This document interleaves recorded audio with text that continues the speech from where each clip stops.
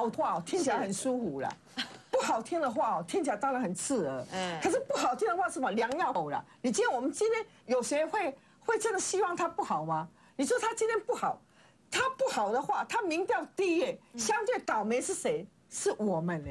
今天为什么他民调较高，就代表大家生活好过，大家对他的政策满意，大家很支持他。可因为他的政策不对，所以大家不支持他嘛，所以大家日子才不好过嘛。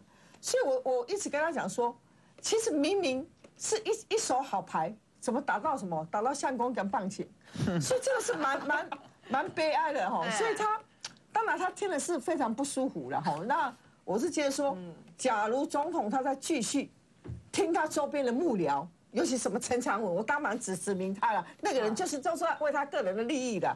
还有什么罗志强的话，那马总统他的民调还会再掉，他还会怎么样？还会还会更更更惨呐、对那你说怎么解决？假如说诉讼哈，假如说你真的在在在所谓再再抗告，那一定输了嘛。很多律师都已经讲了，两审都输了，到第三审都输嘛。那你再输的话，那你不更难看吗？那不妨你就交给前代会去处理嘛，对不对？你今天一个院长你要开除他，你要经过党员党员通过啊，那你就交给按照民法的规定，你要开除你的你你的社员或是开除的党员，你就交给前代会嘛，由全个全部的国民党来背书嘛，看王王院长是不是应该要开除嘛？那这样不就解决了吗？那你何必呢？何必自己一定要跳跳进去呢？而且你一一一一直在一直在为你自己辩白，一直在辩，你是越辩越黑，越辩越糟糕，那造成民众大家更不满意嘛。那社会这个昏昏扰扰不解决的话，你说用倒阁就就可以解决吗？用解散国会就可以解决吗？不要说为了解散国会，就是应该要把王院长拉下来。我跟你讲了，王院长以前也许以前去选选不上啊，他现在去选一定选得上。假如你今天你你再重新选举王院长再选上的话，那你不是更惨吗？所以有有一有人就举例说，你今天是怎样？你今天是一个班长，跟什么加上你的什么风纪股长，两个联人联合起来去打你的邪术鼓掌，可两个人打不过人家，还打输人家。那打输人家的时候，你生气，恼羞成怒，说什么？我说把你全班解解散掉。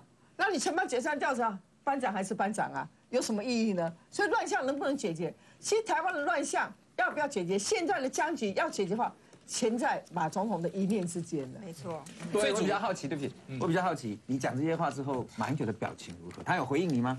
他没有回应啦。根据媒体的报道，是马总统的脸色一片铁青啊。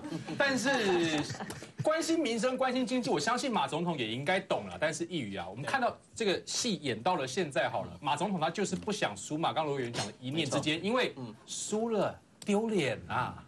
马英九不服输的个性，嗯，我想我们把整个时间回溯，是回溯到二零零七年到二零零九年。今天李进勇他开记者会，他以前法务部次长，所以他应该有他们法务部内部的资料。啊哈，他拿出了这一份所谓陈长文在两千零九年一月二十五号的一个投稿文章，投稿文章去讲侯宽仁在十四年前犯了这个太极门的这个哦不当起诉，起诉的人后来被判无罪，所以应该冤狱赔偿，你应该要去追究侯宽仁的责任。这个在两千零九年的一月二十五号，两千零九年是什么时候？正好是两千零八年政党轮替，马英九拿到了总统的大位。